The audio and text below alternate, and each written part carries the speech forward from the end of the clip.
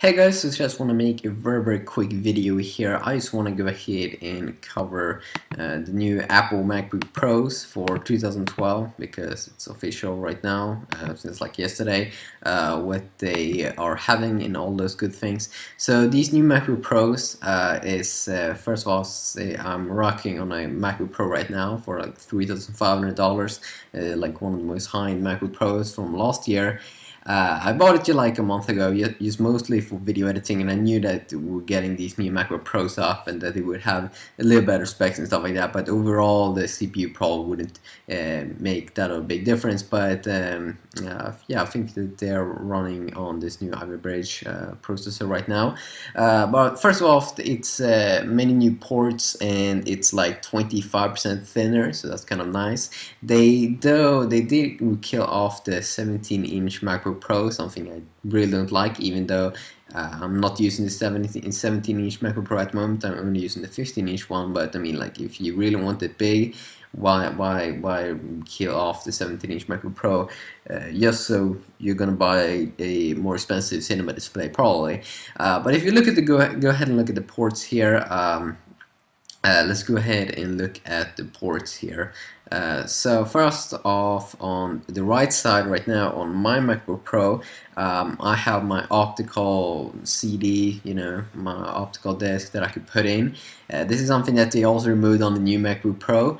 Uh, then also, I don't have anything like more on, on, the right side of my MacBook Pro, but on this new MacBook Pro, they're gonna have the SD card reader, move it on the, to the right side. Also, finally, a full-size uh, HDMI port, so you can go ahead and access that.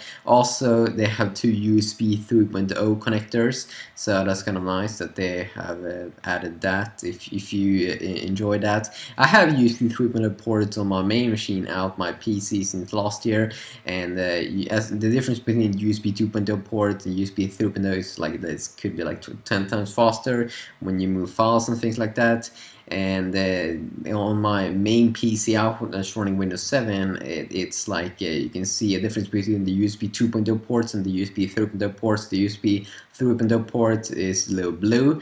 Uh, on this MacBook Pro it's gonna be all white so it's gonna match the design of the the, the, the device basically.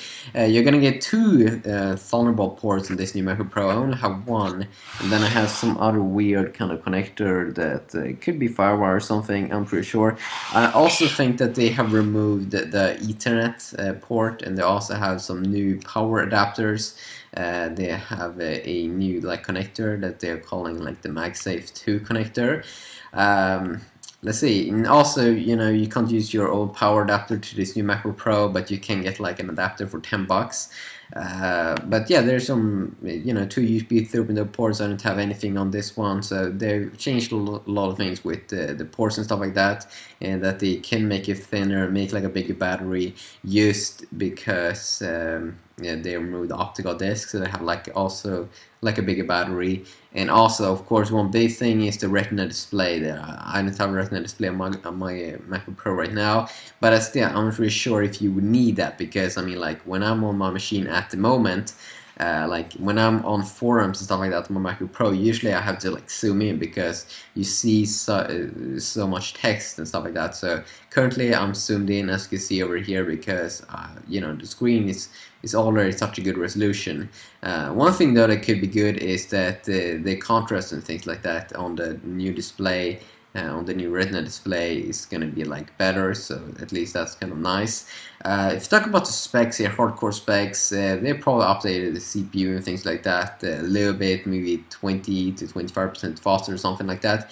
I'm not gonna buy the new MacBook Pros because I mean like my computer was very very expensive but uh, I think this is kind of like a nice update for those people that's buying a new MacBook Pro for this year. So what do you think about the new MacBook Pros? Are you gonna pick one up? Um, I'm not going to as I said over there but uh, yeah this is the new computer from the Apple. Yeah. Bye bye